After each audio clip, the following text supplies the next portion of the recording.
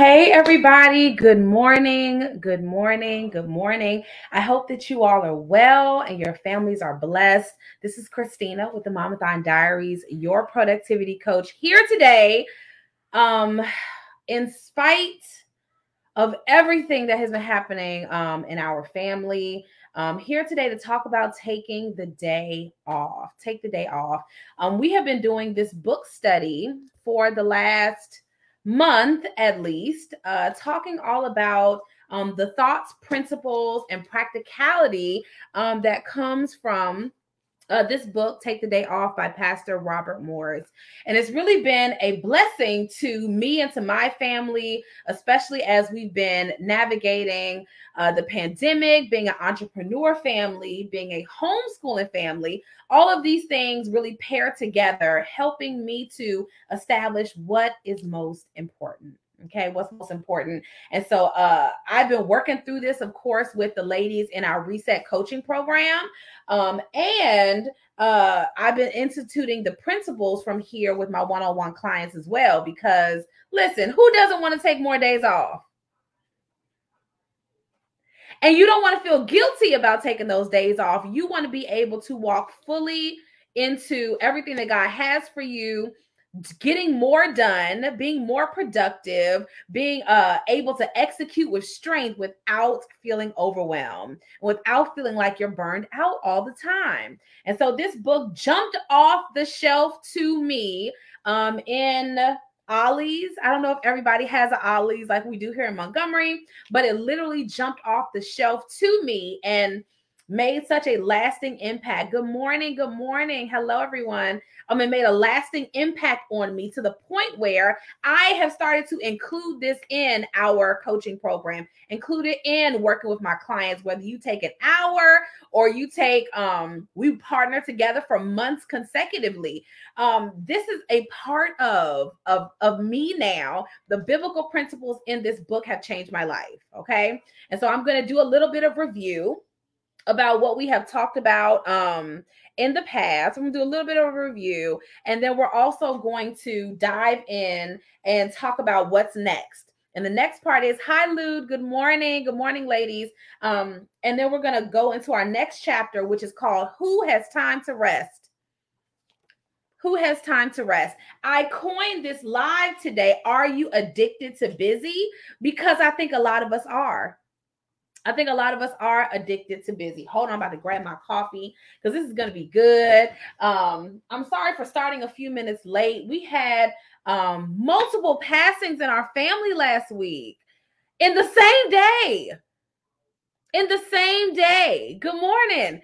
So we um I was on the phone with our pastor's daughter and just trying to um connect with her and see how we could help and so she asked me and my husband to do some things for the funeral. Listen, we just been joyously um celebrating life, you know, and all the more principles like this are important even more principles like this are important okay? So i'm going to get myself situated today. Uh, i'm going to take a deep breath you know because uh yeah.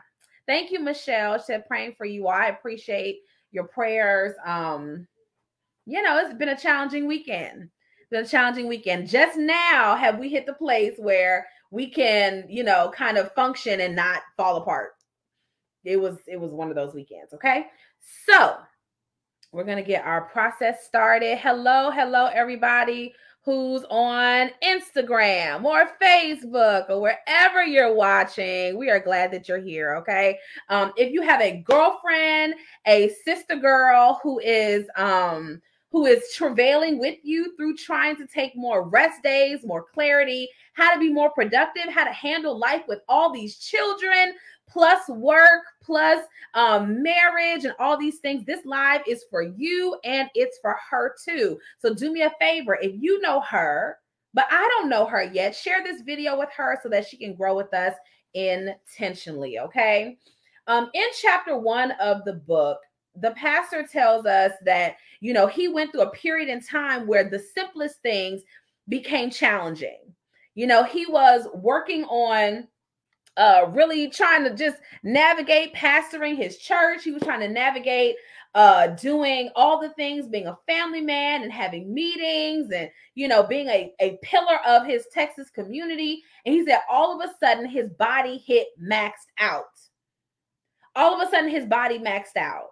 And he felt like he was having a breakdown. This strong and stoic man who felt like he could handle anything ended up in a heap, in a pile of, of sadness, okay, on his closet floor. And he realized that he had literally been operating in full fledged turbo for years. That they had pastored their church, I mean, pastor founded and pastored their church for almost 20 years, and he had not taken any down time. There was a pastor several, a couple months ago who posted, he said, Listen, I officially have reached the end of my rope. I am burned out. He was like, I don't have anything left. Like, I just, I'm done. He said, if I don't make some serious changes soon, he said, I'm worried that one day I'll wake up and I will have had a stroke in my sleep. He said, I feel like I haven't taken any time. I haven't pressed pause, especially pastoring during the pandemic. Some of you guys are mothering during the pandemic, and we're still, I don't know if we've ever taken time to pause and say, What have I actually been through? What have I actually struggled with overcoming and navigating so that I can prosper in this next stage of my life? Have I actually taken inventory? Have I even envisioned the trauma of going through everything that we've been through? Okay. And so, one of the things he does, I'm going to take the cover off my book. Um, one of the things that he does in this book is he talks about the signs of emotional exhaustion and burnout. And while I feel like I should know them by heart because I've been teaching them for quite some time, um, it really blessed me. And if you're in our Facebook community or whatever, I just pinned a bunch of posts uh, where they were free master classes, they were a homeschool summit that we did, and then the six signs of emotional burnout, the extended version is up in our Facebook group as well. So you can go there, click on this like a 45 minute video where I seriously go into the effects of good morning, ladies, good morning. Go into the effects of what emotional burnout, emotional exhaustion, overwhelm look like but every time I teach this, especially when we have new people come on, good morning, Miss Barb. Especially as I have new people come on, I want you all to know what it looks like. I want y'all to be able to envision in your mind Am I that person? Am I displaying those signs of toxic tendencies? Of my candle is burning out? Am I displaying the signs of being stuck in a certain place or in a zone and I feel like I can't get out of it? Am I going in the circle, right? Can I, am I even identifying that this is me right now? This is who I am right now. Am I burned out? Like you hear people talking about being overwhelmed. You hear people talking about being exhausted beyond measure and all this other stuff. Am I even that person? Am I addicted to being busy? How do I even know? And so in this book, he says that there are six signs, six possible warning signs of burnout or emotional exhaustion. And I might even add one today. Um, he says, sense of failure and self doubt. If you see yourself and you're not scared, wave your hand at me when I call it out. Wave your hand at me if you can see yourself in some of the things that I'm going to say today. Sense of failure and self doubt, feeling helpless, trapped, and defeated. Can life get better? I don't even know. I feel like I'm in a revolving circle. I feel like it's so hard for me to break out of where I was and what I've been doing. Somebody's waving at me in the comments. We see you. Am I that person? Sense of failure and, and self doubt. I don't even believe in myself that I'm the answer, that I can, that it's possible for me. That could be a sign of burnout. And maybe there's nothing wrong with you. Maybe you're not broken. Maybe, you know, you're just travailing through a period in your life and you're exhausted feeling helpless, trapped, and defeated. Have you ever felt like life can't get better? I don't even know if I'm coming or going. Have you ever felt like I'm in a box and this box is just my life? Y'all saw like the resting face, right? Like this is my resting face. I just look like this now. I'm just exhausted like this all the time.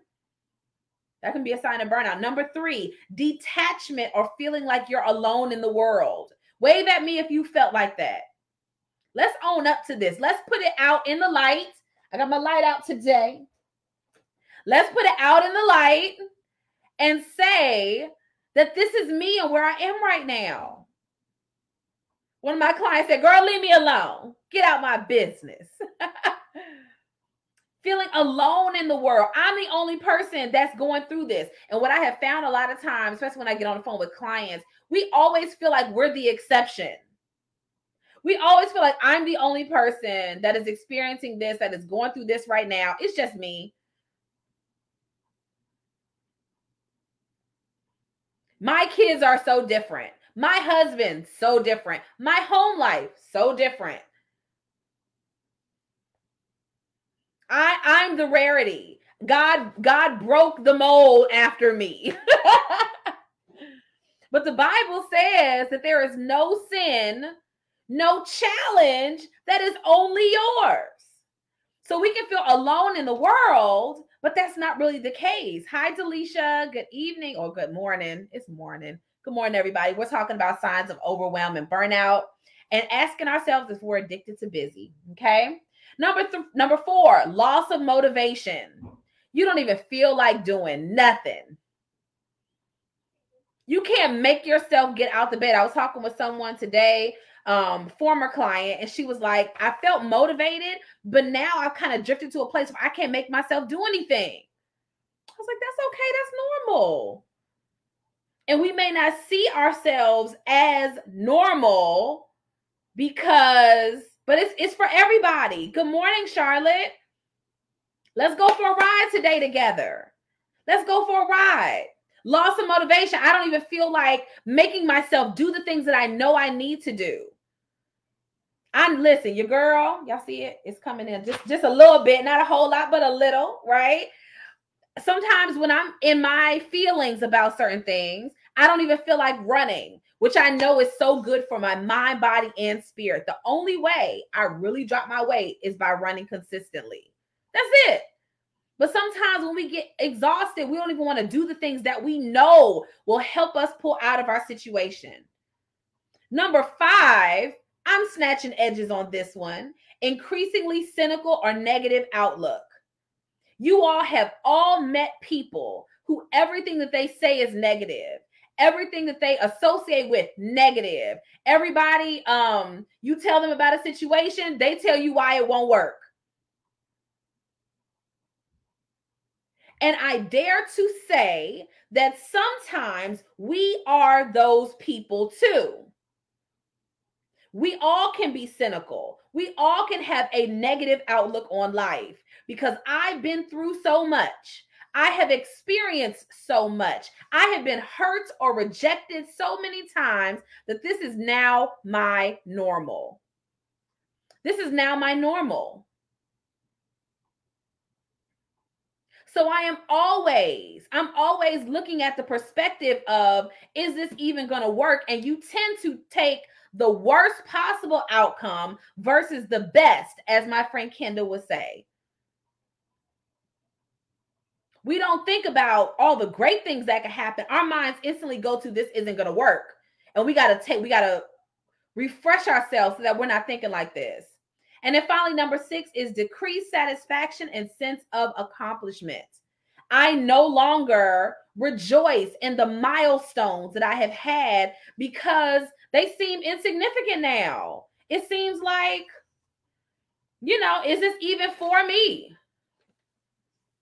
all the things that you've done, the places, if you um started your business in 2020 or 2021 and then you you uh pitched yourself for a big opportunity, rejoice that you pitched yourself. Rejoice that you advocated for yourself, that you the business. Y'all know that I, you know, as I work through my essence journey, right? In 2020, I was like, Essence should know who I am. 2021, I shot my shot probably twice. 2022, it was just that time. But imagine if I had let my lack of accomplishment feelings, negative outlook, I refuse to be motivated by what I know that we're building here in this community. If I did all of those things, if I just sat there with that negative outlook, right? I never would have made it to that place of being able to work with Essence Magazine, not just once. Not just once to the place now where I hooked up with somebody uh, on LinkedIn and I was like, Do you know so and so? She also works in the digital pr- production area at, at EMAG. And she was like, No, I don't know her. I said, Okay, cool. Well, I'll I'll link y'all. So so when you do meet her, you can say Christina told me about. She was like, Do you work here? It's like, no. I said, I just like knowing people.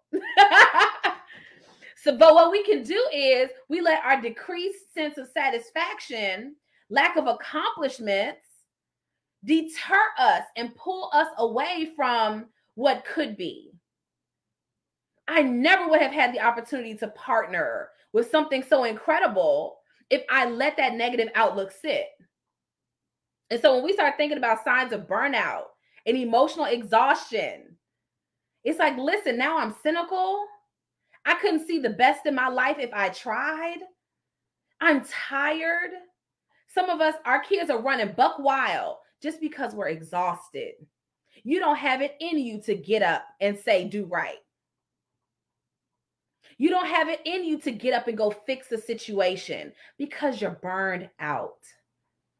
And so today we're talking about being addicted to busy, to the place where we are now missing out on the beauty of slowing down because we want to keep moving. Okay. We want to keep going. So I'm getting ready to turn over to this chapter. And when I say this book changed my life, okay, it really did. Um, he talks about how take making the Sabbath holy is a forgotten commandment. Okay, that we all need to take a rest day where we do nothing. I've had clients who um they don't have a rest day plugged in. You know, and I didn't realize I was teaching this before I was officially teaching it, but I was because we all need time to think and to work through our ideas and figure out what feels the most authentic and focused for this season of our lives. At one season of my life, I was mommying small children, right? And although I don't look like it, I am a mom of five, right? So now my oldest son is about to start high school this year, tier. I'm sure he's gonna pop up with a girlfriend one of these days. I'm gonna have to chase her out of town. But the moral of the story is I'm going into a different stage of motherhood now. I'm going into a different stage of parenting. Me and my husband will hit 16 years of marriage in August. It's a different stage of marriage. That's that stage of marriage where you're like, we can just sit here together. We don't have to talk about nothing. I'm tired of talking. I love you. I think you sexy, but you don't have to touch me. He can say it, I can say it, and nobody's offended. That's a different stage, right? So what he's talking about today is is really developing and redeeming our time. Redeeming the definition of work and asking ourselves, are we so addicted to moving around and being busy that we don't know how to breathe and take this time to reset? That's the reason our signature program is called the reset. That's the reason why the coaching program, the group, is called the reset. We want you to start over. I want you to literally think about what it would be like if I undid these negative habits, these negative tendencies, the negative things that I've allowed, and fix it you can fix it. Okay. And so he talks about the forgotten commandment, which is taking the Sabbath. Okay. And a lot of times we think about seven. They someone asked me, they say, Are you a seven day Adventist? I was like, No. Um, but taking Sabbath days are needed. You know, a lot of times we think of it as um as a old time, whatever. Take your break. Hey sis, good morning. You know, take your break, take your moment. There should be a day a week where it is plugged in. I'm not putting anything on the agenda. I'm not putting anything on the agenda. And so he says, I can see the thoughts racing through your mind. Are you kidding me? I can't do nothing for a day a week. Do nothing for one whole day. When I say the first thing I do when I wake up in the morning is go to check my email, go to tech social media. You know, that's how my clients reach out to me. I'm going this in my email because we're working on some different collaborations. And I'm like, listen, I have not yet gotten tired of seeing Essence in my email. I have not. As soon as I go in there and I see like, I'm like, I haven't got tired. I got to check the email, right? I have to go there. And so it's hard for me on a Sabbath day to say I'm just I'm minimizing communications. I'm not taking anything on the itinerary unless it's something that's refreshing. Last uh week Monday I went out one of my good friends we got brunch and we went for like a 4 mile walk and just were outside in the sunshine. It felt good. It was on my on my calendar and on my list but it felt so good. It felt so authentic, you know? So we have to ask ourselves, are we honoring that? And so he says the fear response is similar to what I encounter in Christians when I talk about tithing. They say, I can't afford to tithe because I'm barely making it as it is. And then we got to challenge ourselves and say, we do the same thing about rest. We do the same thing about niching down in our business. We do the same thing about, you know, how we parent or how we wife or all these things. We say, I can't afford to do this. I can't afford to be vulnerable. I can't afford to parent my children in a more gentle fashion. I ain't say gentle parenting. I said a more gentle fashion. I will still throw a phone flip flop at a child. Let's just get that. I'm not a gentle parent. All right, let me get that together. However, it takes an act of faith to slow down and to embrace that, okay? He says it's not a law that you have to follow. It's about coming to a place of faith and trust that God is our provider. God is our provider, and we can live a lifestyle of rest. No worry, no anxiety, no fear, and no hurried schedules. One of the things that I realized about myself, and wave at me in the comments if you feel this, mamas wave at me if you feel this. I was always hurrying my children from one thing to another. So at this point, I'm like, okay, how do I need to or- orchestrate my schedule? How do I need to um, learn to embrace a different time stamp, right? I'm a homeschooling mom. If I'm coaching with y'all all day, hey Felicia, if I'm working with y'all all day, kiki keying on the internet, when did the children learn? what are they learning? So after this session this morning, right, we're switching gears and we're going to go to our homeschool schedule and we're going to go to outside time and they're not going to see no tech until this evening.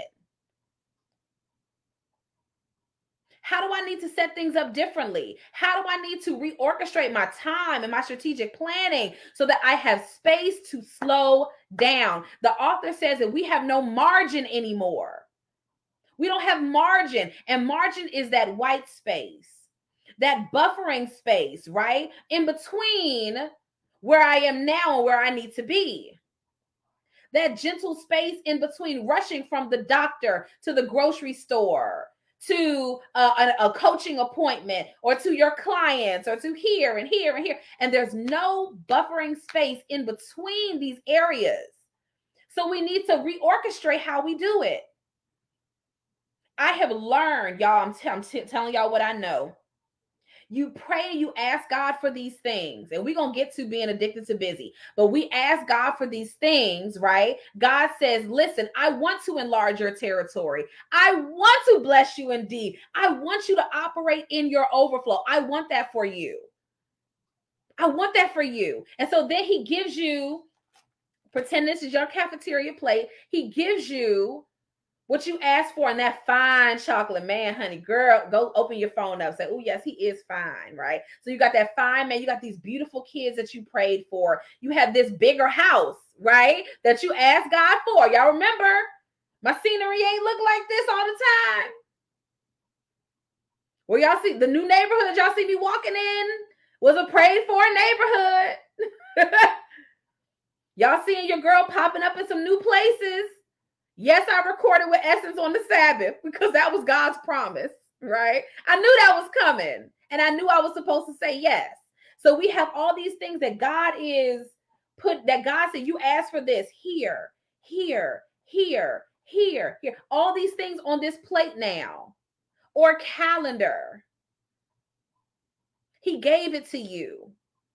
And so now you have to do the strategic work of organizing the life that you prayed for. I asked for this. Thank you, God, that you gave it to me. Now, how do what do I need to do? What time do I need to get up? Who do I need to reach out, out to and follow up with? What are these things that I need to move around so that this is working? Okay. And so he talks about the forgotten commandment. I see my kid outside. The forgotten commandments of taking the day off and talks about how serious God is about our rest. Okay. He says God did not change his thoughts on killing. God didn't change what he thought about lying and stealing. What makes us think that he changed his mind about us taking a day off? What made us think that God has changed his mind about us taking this day? And the reason that we need to take the day, he talks about the Israelites and how Jesus was supposed to come through this lineage. And if they were worn out, burned out, stressed out, overwhelmed, if everything that was attached to them was deteriorating, Jesus could not come through a healthy and vibrant lineage. What about your lineage?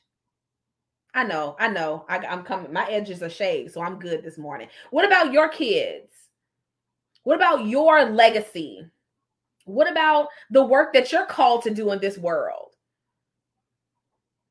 What about your purpose that is uniquely given to you? What about the light that you have shining inside of you that we need? Imagine if y'all could think back, Momathon 2014.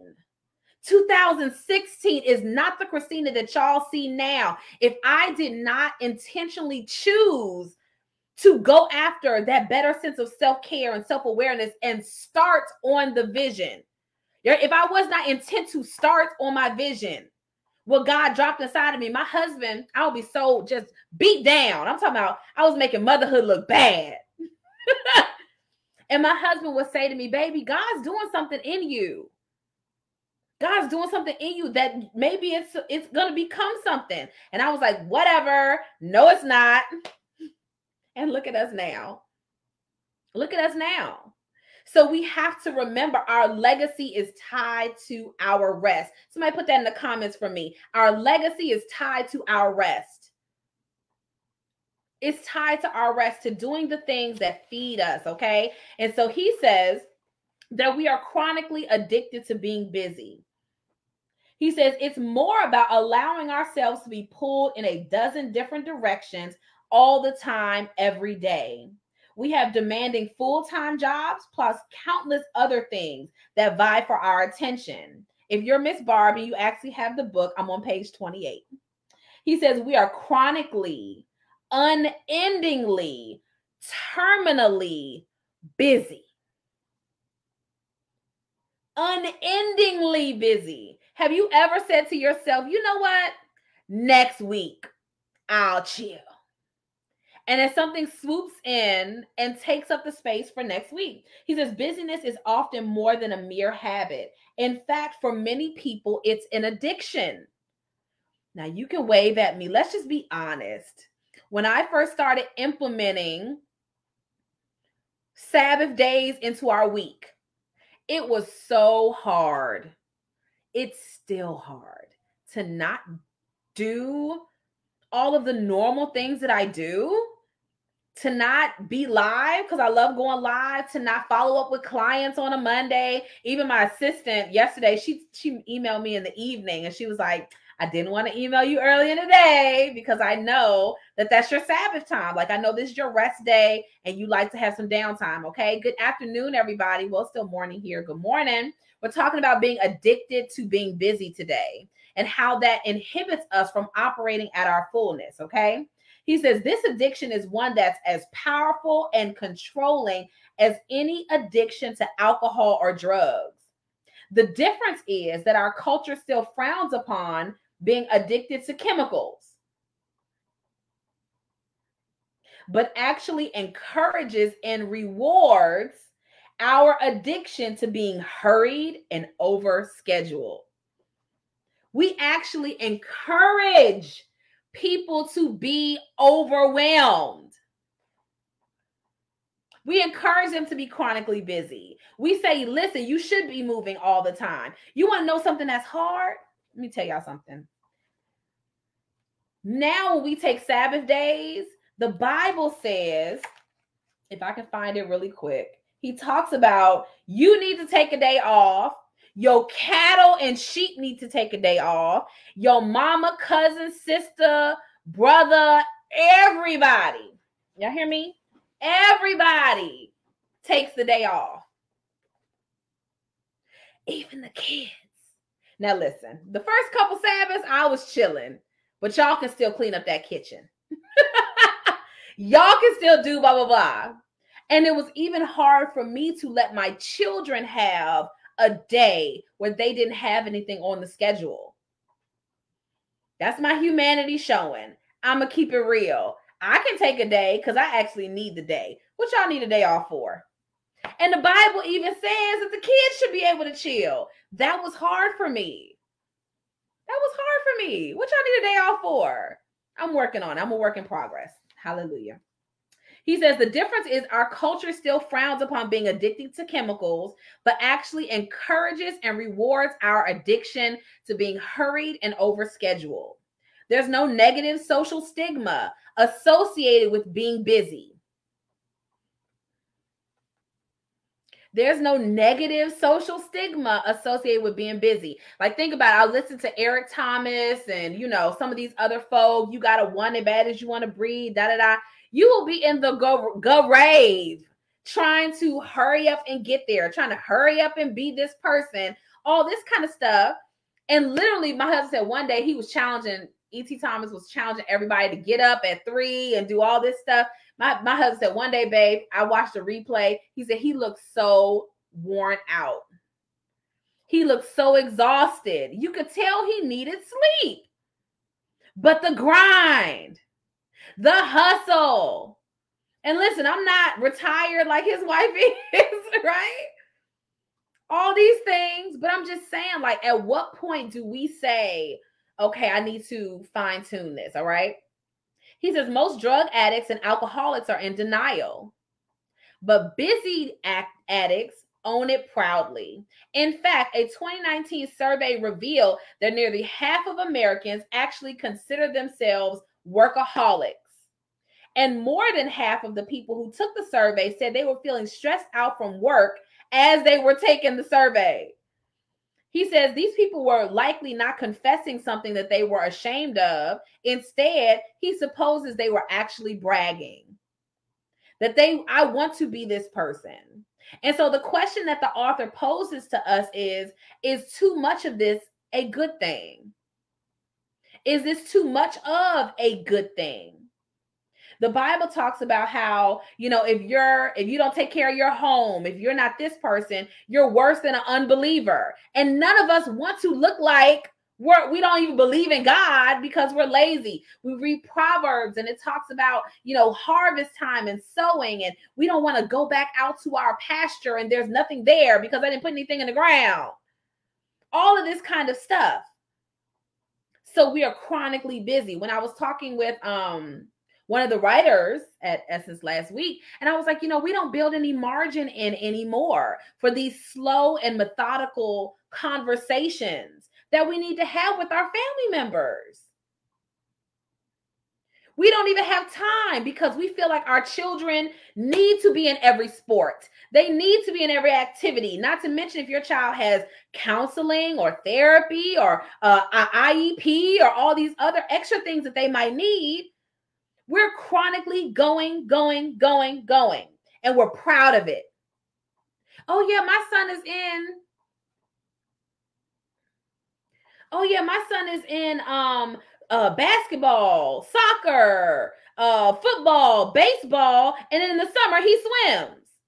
in the summer he swims and you're like, and mama got bags on her eyes.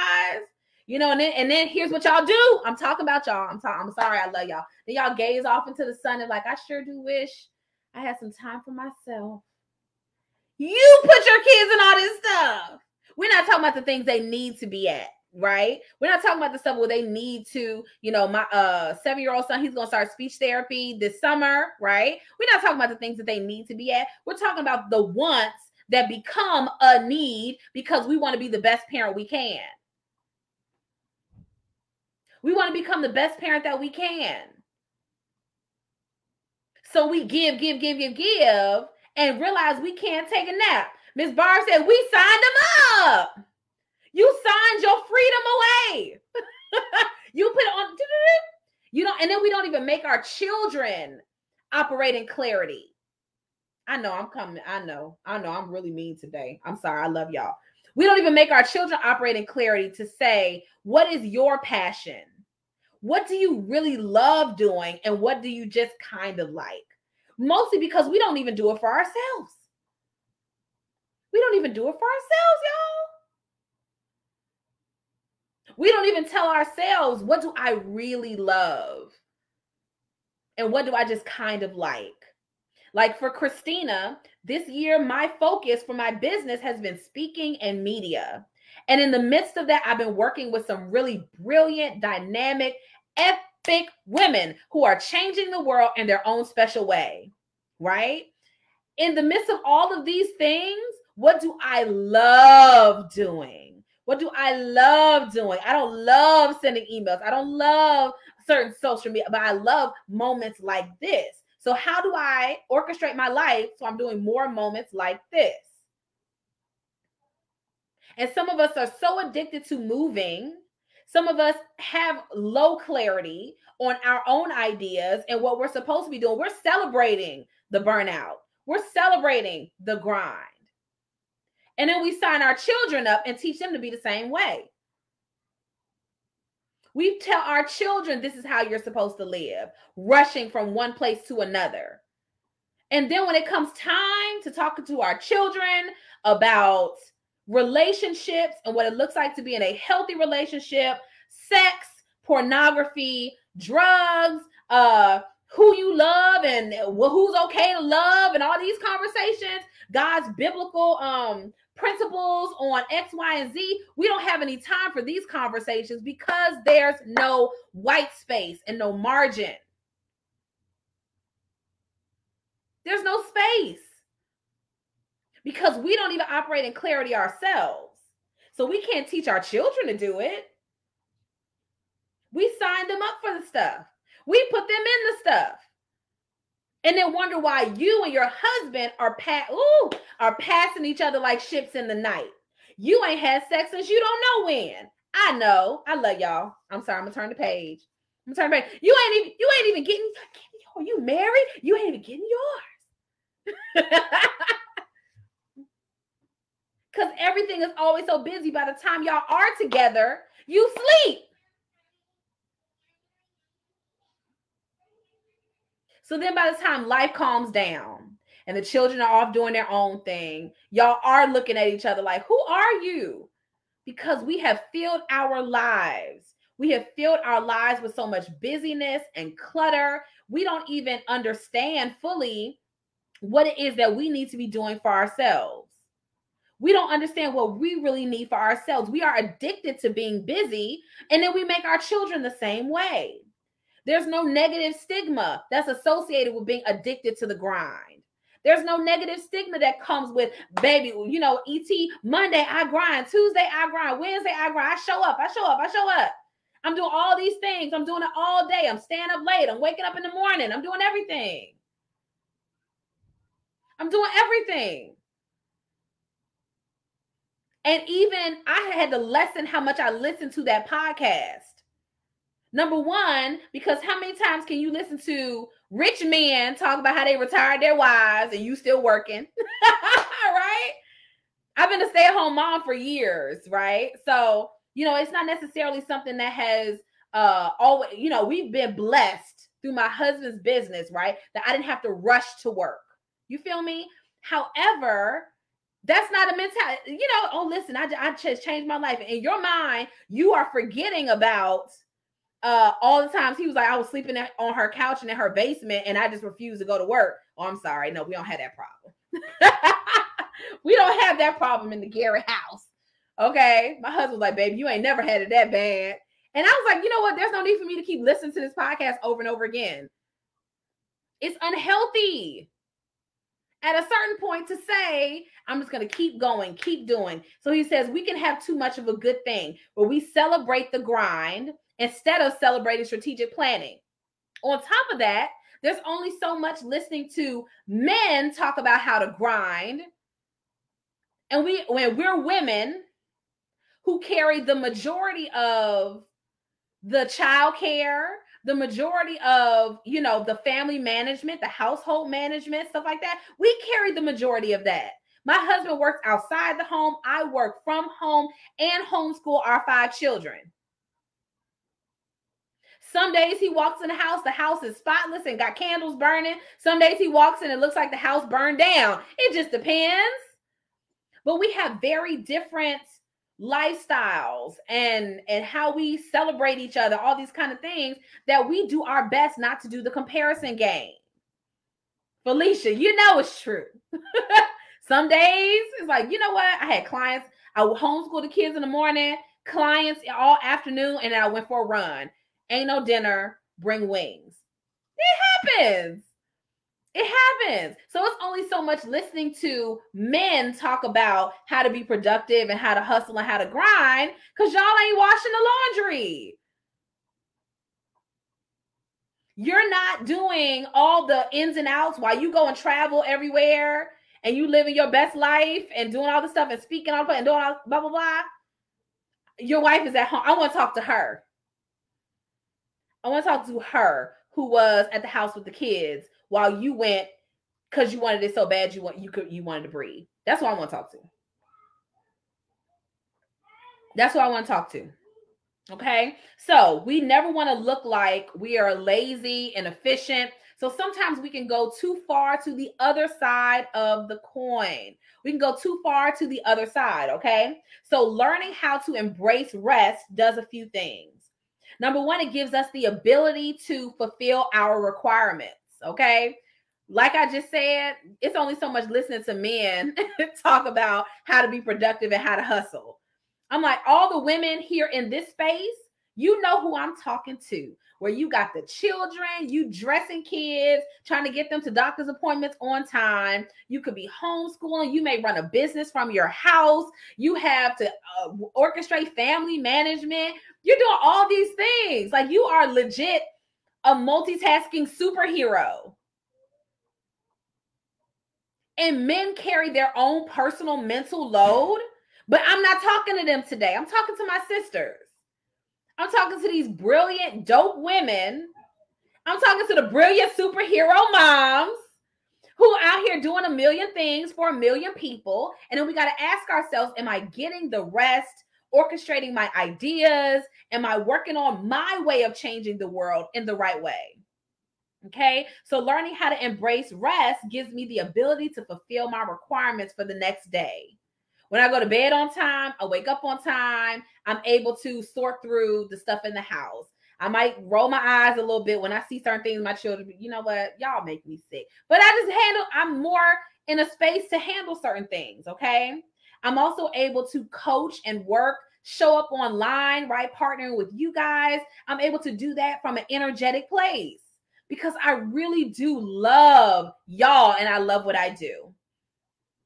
When you embrace rest, you give a chance for your body and your soul to catch up. There's a book that we have that I've been talking about called Sleep Smarter, right? And in this book, he talks about why you need to uh, close out get some blackout curtains and close turn all the lights off and shut everything down at a certain time because we need to be in tune with our bodies and our minds and our spirits okay? He says that the majority of our melatonin is made in our gut. So he talks about how you know listen eat healthy. He said eating healthy and doing good by your body means you'll sleep better. And when you wake up in the morning you literally do feel like a new person Learning to rest also lessens the effects of stress on the body. Okay, lessens the effects of stress on the body. Okay, so you can imagine all our hormones and you know the things that need to be reset as a result of of us taking that time and actually you know downscaling some things. I was reading a book, and y'all know we read a lot of books. There's a book called Sleepyhead. I cannot remember the name of the author, but he talks about how when you go more than two nights of jagged sleep, you know, up, down, up, down, it literally takes you three days of consecutive good sleep, right? Your full amount of time to reset your hormones. You got one or two nights of bad sleep. You have to get three days of good sleep in order to reset the thousands, y'all hear me? Thousands of hormones that are flowing through our bodies. And so, what I immediately went to was what about moms? What about moms? Have any of us even slept a whole night since children?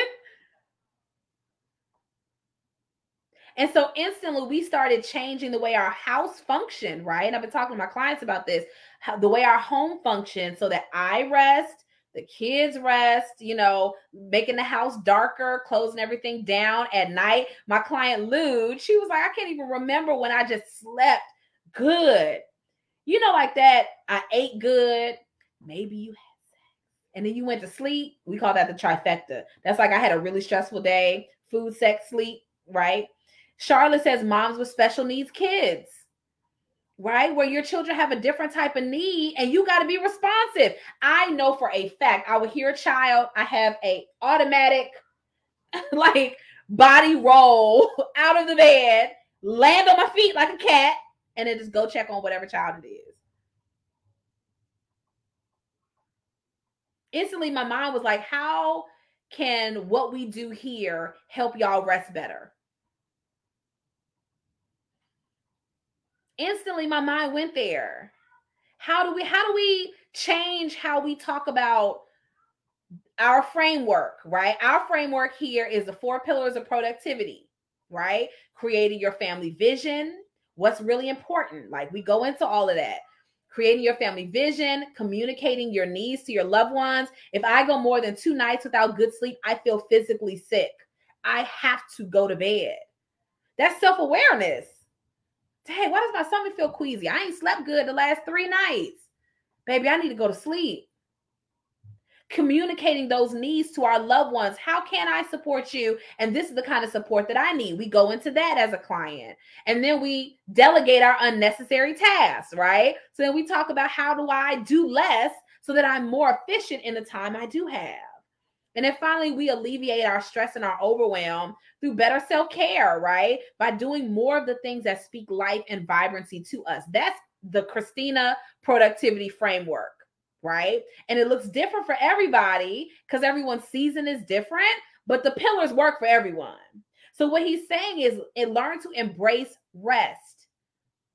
If I create a vision, if I communicate what I need to my loved ones, if I delegate, I have space to work on my ideas, to pray about what God is saying is next. Because boy, these Garrett's got some stuff we are praying about. Y'all hear me? We just got stuff that we're praying about. So having that downtime to really work through that. And so what he says is that we're always thinking about planning for, looking forward or not looking forward to work. We're always investing ourselves in what is that next thing? Is always kind of building up our time. And so and we're going to get ready to wrap up in the next five minutes. He says a lot of times we have noble motives but we're out of balance. We have noble motives but we're out of balance. He says choosing to obey the command to rest is a step of faith Choosing to obey the command to rest is a step of faith, comparable to giving God the first 10% of your income. It requires trust in God to supernaturally help you fulfill all your responsibilities in the six remaining days each week. And I'm here to tell you that He will do that. I have testified multiple times over the last couple of weeks about amazing things that happened on Sabbath days. Just weird stuff, like, you know, just stuff that we have been praying about or whatever, and trying to learn how to slow down and chill. Right? God says one day a week, I want you to chill. And then He says the other six days, I want you to go hard in the paint. Right? I want you to show up and deliver and work hard and and give your all to the things that are in task to you. I think one problem is sometimes we will we will call something i'm resting i'm practicing self-care but baby that's not your sabbath day. That is not your sabbath day. Whatever day you say is your sabbath day make that your sabbath day okay? And then on the days that is this is your other six days what are you doing with your time? Why are we not executing well? Why are you not showing up strong for your family? Why are you not or taking a few minutes and organizing that space that has been bothering you? Why are you not teaching your children how to support around the house? Why are we not fully engaged in what we say is our passion project? Why are you not reaching out to people and telling them about what you do? Why are you not showing up here in living color to talk about why what you do changes the world? Where are you at? And specifically, I'm talking to those women who have a big vision, big ideas, bossy mentality. You want to slay in your family, but you also want to fully walk to your glow and your purpose and the things that God has put in your heart to do. I'm talking to you. So what we want to do is when we feel tired, it's not your Sabbath day. I just want I just need self-care time. I just need some downtime. I need some breathing space. And the days that you're supposed to be showing up and writing or working on your blog or pitching your event planning services or talking about your translation services or doing all these other things. We're not doing that then either. On the other six days, you make it work. You hustle, you handle business. But on that Sabbath day, God says, chill. And trust, oh my God, and trust that the seeds that you put in the ground on these other days are enough that you can take the day off. Somebody give him glory. Oh my word. That is good. I'm going to go hard in the paint these other six days. I'm going to send out my information for speaking engagements. I'm going to pitch my local TV. I'm going to listen, y'all. I, I pitched Steve Harvey on Watch. I pitched the Drew Barrymore show, all these other places. Why? Because I'm large and in charge, and the whole world should know, right? Strategic planning for busy women is what I do. P- period. the sooner you know it, the sooner you glow in it, the better we all will be. Okay. So I, Christina, that's what I'm working on on these other six days, showing up with my clients, right? Coaching in the afternoons, discovery calls. Let's set up a 10 minute time to chat. Let's see if I'm your person and you're my person, and I can help you set up a plan for your family so you can glow and you're on the to-do list just like everybody else is. Whereas you look at this full and blossoming abundant plate of things that you prayed for, now we got to move some of this stuff around. Because the way that I'm doing it right now has me hiding in the shower crying, has me hiding in my closet eating snacks because you have no boundaries,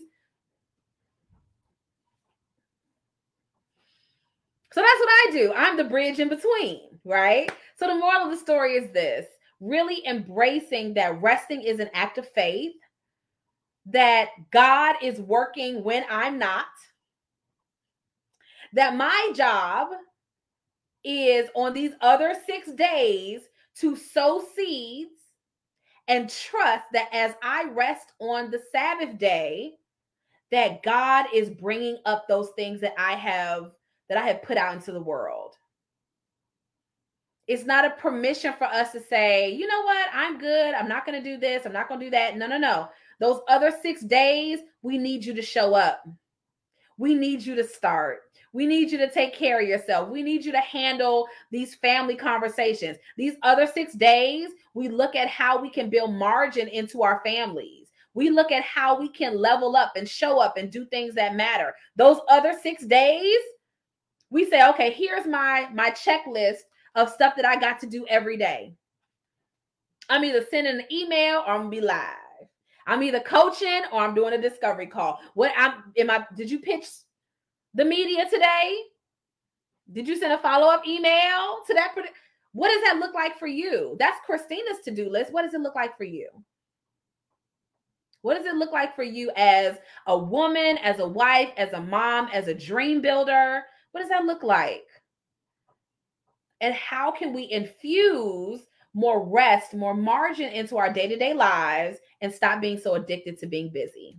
Okay. So as we wrap up our hour together, I want to extend an invitation to you. Okay. Let's say you've been on this live all this time. Christina's been talking about rest and clarity, how to work on our brilliant ideas without feeling burned out. I've been talking about the six stages or six signs of emotional overwhelm and burnout, and you can see yourself you see yourself in this and you're like, I know I need help. I know I need somebody to walk with me that understands where I've been. Y'all, I'm a pastor's wife. I'm a homeschooling mom of five awesome kids. Have my children come in here one time?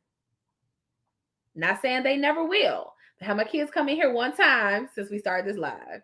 And we've been on here an hour. Okay. So the moral of the story is really working on instituting an intentional plan. No more fly by night. No more being reactive versus proactive. No more knowing, um, knowing that you need to slow down and be more intentional, but you don't know how to do that. We don't want to sit here in that space. And then beyond that, I want to push you to take those ideas, focus them, right? We want to focus those ideas into what is going to create legacy goals. What goals are going to change the dynamic of my family life? I don't want to sit here and look up a year from now and realize I'm in the same place. No. No, we don't have time. Life is short. Our missions are, are waiting on us. The world is waiting on a way that you bring something epic about God to the world. We're looking for it. We want it, we're craving it. Okay. So if you would like a partner to walk with you through this process, I invite you to set up a 10 minute call with me. 10 minutes, right? We'll go through, we'll talk about are we a good fit to work together? Okay. Listen, I, I might be your person, you might be mine, but maybe now's not the time. So, what we do is we'll talk about you, especially what your current challenges are. You can tell me about your family, what's working in that dynamic and what's not.